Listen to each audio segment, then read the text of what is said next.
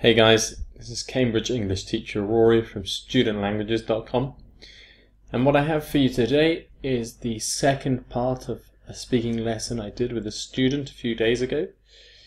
In this lesson we're going to be focusing on the speaking part 2 for the Cambridge English Advanced. That's the CAE or C1 Advanced exam. Uh, it's a Cambridge exam and if you pass this exam you have a certificate which will help you get into university or get a better job or it will help you to travel around the world more easily. So it's really useful.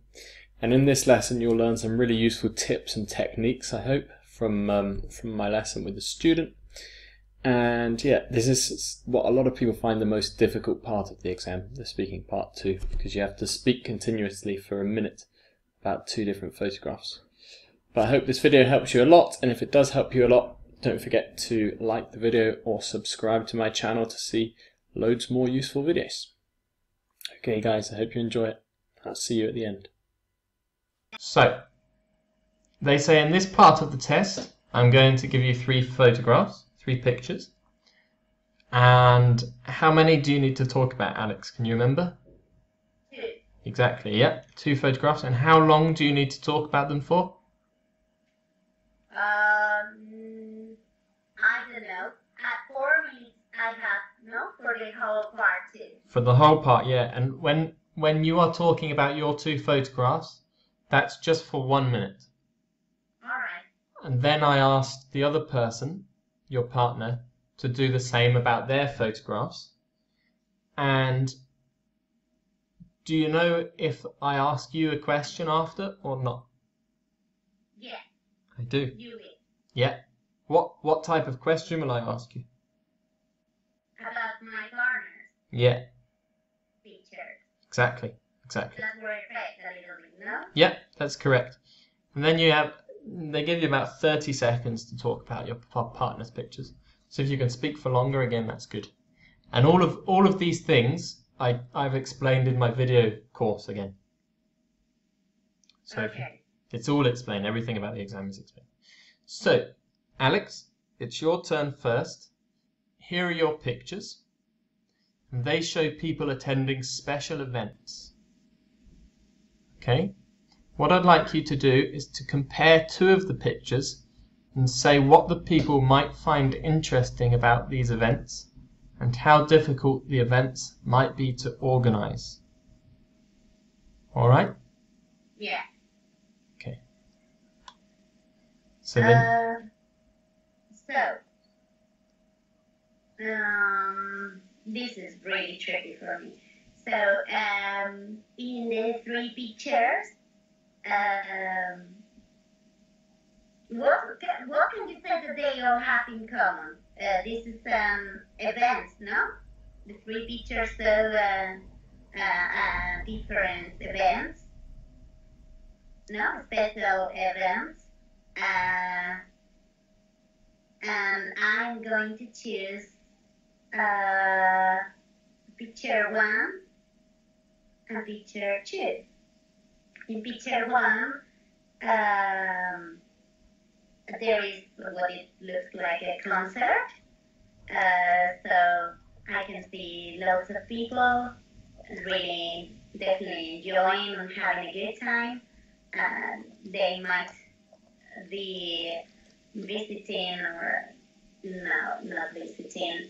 Um, uh, they might have traveled from long to to meet their favorite singer, star, or rock star. It could be a rock concert uh, because of everybody has their have their hands up. Uh, whereas the second picture they also are having fun since they are in a uh, playing. I can give I can give you some feedback and I can tell you what you were doing good and what you weren't doing good, okay? All right. And also, yeah, watch the video after the video lesson because the I explain in that as well what the best things to do are. Okay, so mm, firstly, the first thing you need to do is to read the two questions at the top. So what might what might the people find interesting about these events? Okay, so don't describe the pictures at all. just say what they're going to find interesting.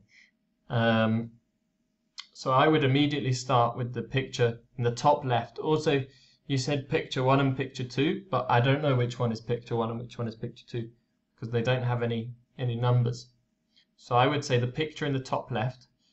So the people uh, might find it interesting because they are watching, or they could be watching. So remember to say things like they might be, they could be, because it's all speculation. Yeah. They could be watching um, their favorite band playing on a stage. I could say actually the same though is about the picture on on the right. The people who are watching the tennis could be watching their favorite tennis players playing, um, and so they might find it really interesting. They also might find it interesting because it could be a really close match between the two tennis players, and so it could be exciting, or it could even be a final, uh, which would be amazing if it was the final of a competition. Whereas the picture on the left could be uh, this band's final ever concert. It might be the last concert they ever play, which would make it even more interesting as well. Um, and I think it would be difficult to organize uh, the picture on the left if it is their final concert because there'd be lots and lots of people who want to go. And when there's so many people, it's difficult to organize the tickets and things for the event, which is the same for the picture on the right. When there's so many people, it could be really difficult to organize where do people sit, how much are the different tickets going to cost, depending on where the people are in the in the stadium. Okay, so there's an example. That's what I would. That's what I would do. That's what I would say. That's amazing.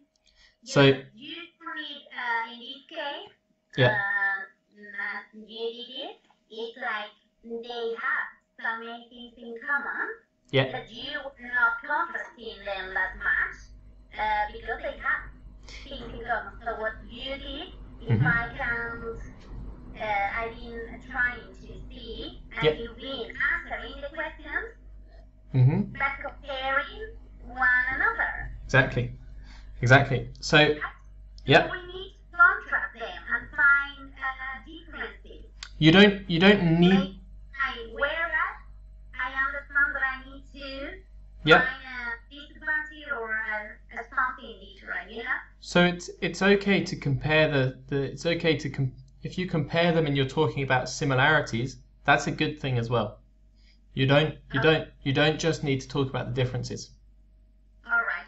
because you can compare the two pictures and say things like whereas when you're talking about similarities as well. Is the teacher going to stop you talking? Yeah, so the, the person will stop you after one minute if you're still talking. Okay? Okay. And then they're gonna you don't stop, right? Yeah, don't stop. Keep talking until they stop you. All Yeah. right. Yeah. That's a very good answer, but it's, it's really tricky for me. It's not tricky for me to speak English, but it is tricky for me to do this. I promise you. Yeah, yeah, yeah. Yeah, this is one of the hardest parts of the speaking paper. And then, so what what happens then, Alex? Can you tell me what will happen after you talk?